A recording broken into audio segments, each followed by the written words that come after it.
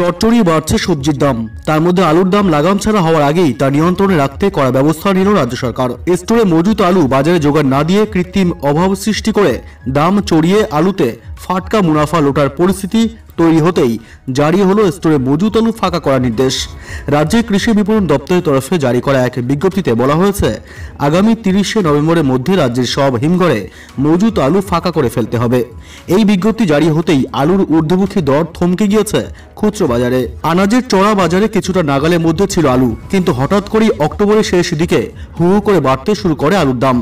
দশ থেকে পনেরো টাকা কেজি আলু প্রায় রাতারাতি বাড়তে শুরু করে। জ্যোতি আলু পৌঁছে যায় কুড়ি টাকায়, হেমাঙ্গিনী কুড়ি টাকায়। চন্দ্রমুখী আলুর দাম পঁচিশ টাকা ছুঁয়ে ফেলতেই শোরগোল পড়ে যায়। খুচরো আলু বিক্রেতা জানিয়েছেন, আড়তে সাতশো পঞ্চাশ টাকার আলুর বস্তা, কিছু বোঝার আগেই নয়শো পঞ্চাশ টাকা হয়ে যায় এবং মহাজনও জানিয়েছেন, দাম নাকি আরও বাড়তেই থাকবে। আলু ব্যবসায়ীরা পাশাপাশি আরও জানিয়েছেন, বৃষ্টির জন্য চাষের মরশুম পিছিয়ে গিয়েছে এইবার। অন্যবারে শীতকালে বাজারে নতুন যে আলু আসে তা আবহাওয়ার কারণে সবে বোনা শেষ করেছেন চাষিরা। তাতেই সরবরাহে কিছুটা ঘাটতি তৈরি হয়। অন্যদিকে উৎসবের সময় আলুর প্রবল চাহিদা থাকার সুযোগ নিতে উঠে পড়ে লেগেছিলেন এক শ্রেণির মজুদদার সাধারণত অক্টোবরের শেষ থেকে শুরু হয়ে নভেম্বর জুড়ে এ রাজ্যে পোখরাজ আলুর চাষ হয়, যা ডিসেম্বরের প্রথম দিকেই বাজারে চলে আসে। আলু ব্যবসায়ী প্রসূন দাসের বক্তব্য, আলুর এই দাম বৃদ্ধিতে চাষির কোনো ভূমিকা ছিল না।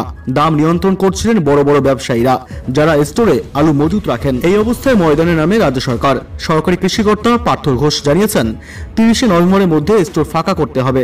সুতরাং ইচ্ছে করলেও আর আলু ধরে রাখা যাবে না। এর ফলে বাজার আর চলবে না। এই সময়ে তুলনায় যোগান কম আসছিল তাই দাম বাড়ছিল আলুর।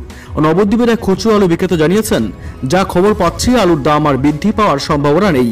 বরং এবার কমতির দিকেই যাবে আলু। বাঁকুড়ার এক হিমঘর মালিকের দাবি, বাঁকুড়ার পঁয়তাল্লিশটি হিমঘরে এবছর রাখা হয়েছে এক কোটি পঞ্চাশ লক্ষেরও বেশি বস্তা আলু। হিমঘরে রয়েছে এখনও প্রায় তেত্রিশ শতাংশ আলু। মাসের শেষ পর্যন্ত আরও বারো থেকে পনেরো শতাংশ আলু হিমঘর থেকে বের করা গেলেও বাকি আলু বের করা সম্ভব নয়। এবার রাজ্যে আলুর বাম্পার ফলন হওয়ার কারণে হিমঘরগুলিতে প্রায় বাহাত্তর লক্ষ টন আলু মজুত হয়েছিল। এখনও হিমঘরে প্রায় তেইশ লক্ষ টন আলু মজুত রয়েছে। এই সময় বীজের জন্য প্রচুর পরিমাণে মজুত আলু বেরোয়। কিন্তু তা সত্ত্বেও পুরো মজুত আলু নির্ধারিত সময়ের মধ্যে বের করা খুবই কঠিন বলেই মনে করছে প্রগতিশীল আলু ব্যবসায়ী সমিতি। সংগঠনের চেয়ারম্যান লালু মুখোপাধ্যায় জানিয়েছেন, আলু হিমঘরে রাখার সময়সীমা বাড়ানোর জন্য রাজ্য সরকারকে তারা অনুরোধ করবেন।